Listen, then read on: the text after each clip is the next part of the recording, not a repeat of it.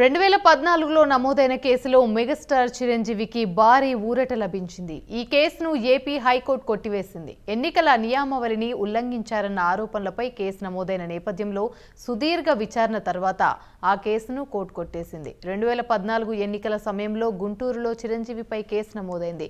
నిర్ణీత సమయంలో మీటింగ్ పూర్తి చేయకపోవడంతో ట్రాఫిక్ సమస్యలు ఏర్పడ్డాయని ఎన్నికల నియామావళిని ఉల్లంఘించారని చిరంజీవిపై కేసు నమోదైంది.